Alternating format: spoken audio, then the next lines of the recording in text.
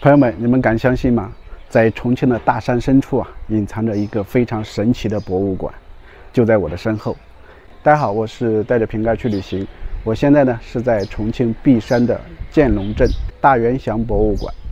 虽然这个博物馆啊隐藏在这个乡间田舍之间，但是呢，它却是现存的，就是巴渝地区最大的体验巴渝文化、巴渝古建筑的一个博物馆。它呢被称之为巴渝文化的祖屋，在这里啊可以参观非常多的这个古巴渝建筑文化展品的地方，呃，很多的这个明星啊也都纷纷啊前来这里打卡，比如我们非常熟悉的成龙大哥，还有演员于荣光，他们都来到这里打过卡。那今天呢，我也带着大家一起来领略一下这座神奇的博物馆，走吧。好，我们现在啊。就走进这个大元祥博物馆。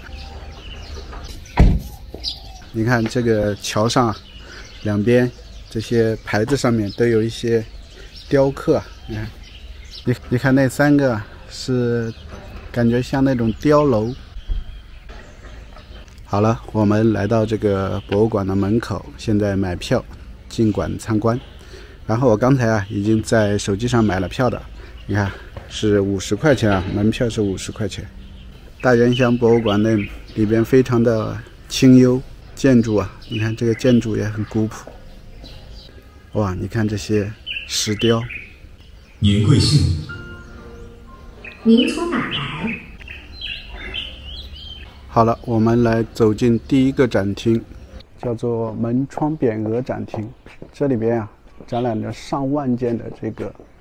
清代门神门，这里面被称之为啊 木头上的敦煌，非常的精美。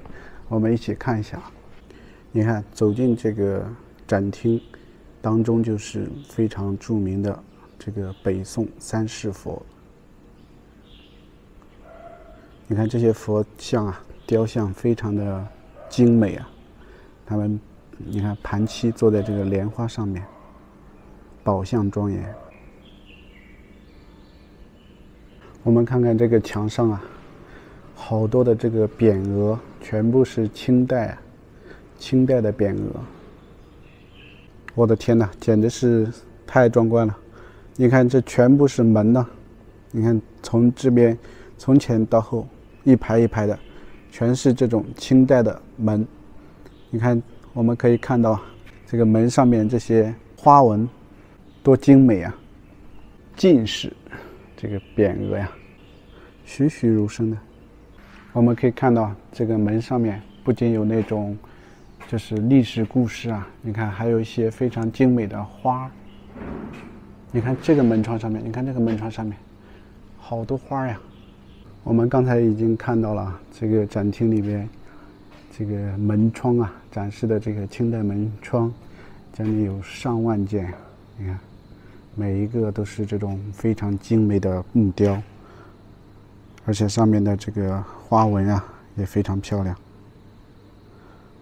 这些匾额呀，这些匾额包含了当时社会的各个方面啊，比如说科举的、治家的、祝寿的，上面反正都有。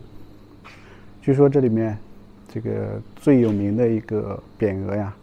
是清代重臣李鸿章所题的一个祝寿的匾额，叫做“宣荣溪谷”，是这个匾匾中的这个精品啊。这里应该是看样子啊，应该是私塾过去的那个私塾。你看，一排排的座位儿，天地君亲师，这个是先生的位置啊。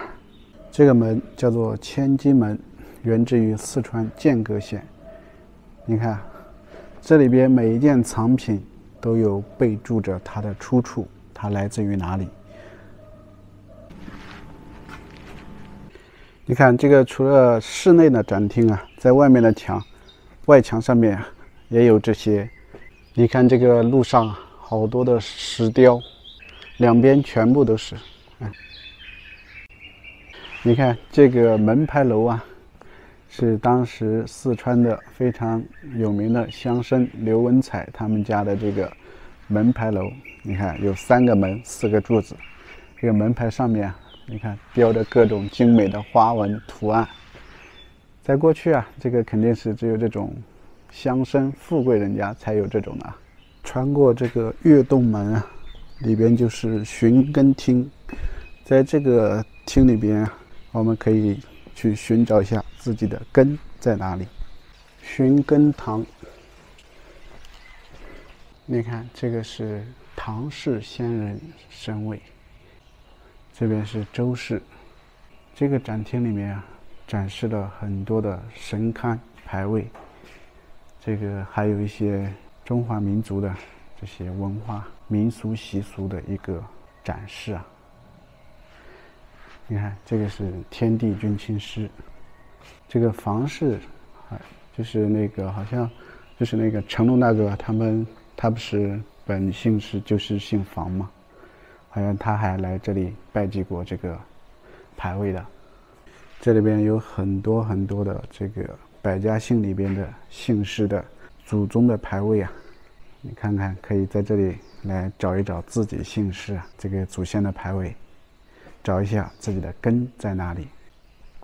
这个厅啊，叫做祖母厅，请留下你对祖、对祖母想说的话。你看这边一排的话，就是门神门。那什么叫门神门啊？大家应该都见过，就是在门上啊，就是用生漆啊画的这些各各种人物的。这种门啊，你看，也叫财神门啊。你看有的，呃，有的地方啊，那个门神上面就是财神；有的呢是一些比较有名气的那种神祇，比如说钟馗啊、张天师啊、包拯啊、尉迟恭啊，他们这些。嗯，这个里边是川宫木雕精品展馆，我们进去看一下，主要是一些木雕产品。哇，你看这个门上雕刻的。两条龙，非常的精美啊！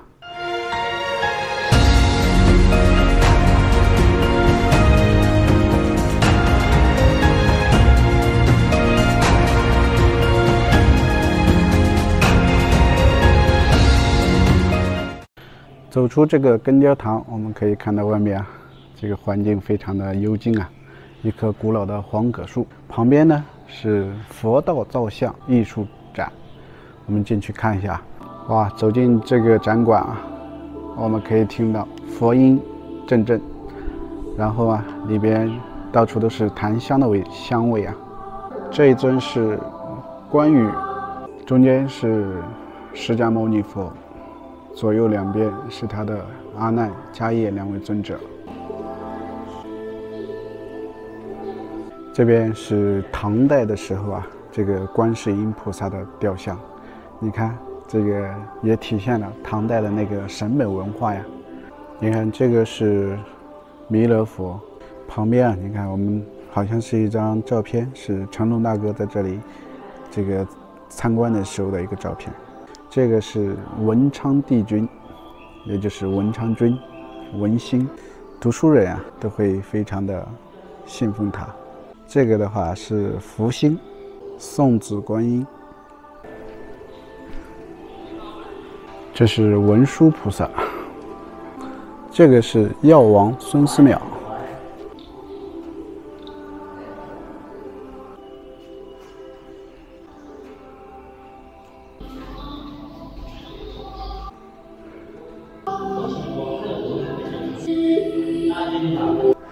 一个博物馆就是一所大学，确实，今天啊，在这里看到了很多东西，学习了很多。这边啊规模很大，你看前面还有我们一个一个的展馆。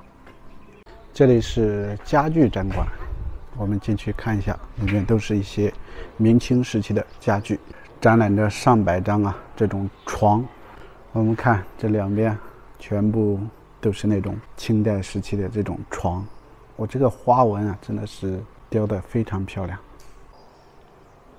我们可以看这个床上面好几层。然后都有镂金，上面啊，你看雕刻着一些什么青蛙呀、荷叶呀这些，还有一些是牡丹。我们看一下这个床啊，从前往后大概有三层啊，四层，上面你看雕着仙鹤、牡丹，跟他们这些床一比啊，我们现在的床简直是 low 爆了。这个的话，应该就是他们的卧室的结构，你看，东西还是非常多的，梳妆台、衣架、衣柜、床，这个窗子啊不得了啊，叫百寿窗。你看这个窗子上有很多个寿字，就是不同的字体、不同的形状，都非常的精美啊。这个馆的话叫做家风家训展，家有家规呀，这些家风家规家训在这里面我们可以看到有很多。你看这个家训是忠信孝悌、礼仪廉耻，勿作非分之事，勿专公共之利。这些家训家风，对我们现代社会的精神文明依然发挥着重要的作用。这个展馆的话，叫做红色文化收藏馆。这个就是你看里边有很多伟人的照片、雕像，毛主席、朱总司令、周总理。这边的话是国外的伟人，恩格斯、马克思、列宁、斯大林，胜利会师。对呀，红二红四方面军会师井冈山啊，这个像是一个会议室。好了，朋友们，经过两个多小时的游览，我们已经结束了对大元祥博物馆的游览，真的是非常的壮观。在这个展馆里面，我没有想到会看到这么这么多的展品，而且啊，真的是全部都是跟巴渝文化、巴渝古建筑相关的。一座博物馆就是一座大学。这句话真的是非常的准确。我们今天啊，通过这个游览啊，学习了很多关于这个巴渝文化的历史。所以呢，我也建议朋友们，如果你们有时间的话，可以来到这个博物馆，好好的参观一下，了解一下巴渝文化。好了，那我们今天呢，这个视频就跟大家分享到这里。如果你喜欢我视频的话，可以加个关注，点个赞。您的支持啊，是我更新的最大动力。我是带着瓶盖去旅行，那我们下一个视频再见。